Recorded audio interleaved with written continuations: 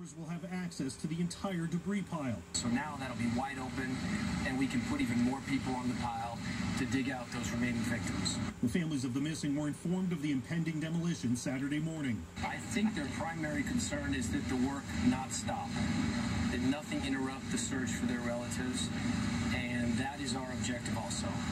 Another concern, pets left behind during evacuations. The mayor of Miami-Dade County says every effort has been made to find those animals, but three searches have turned up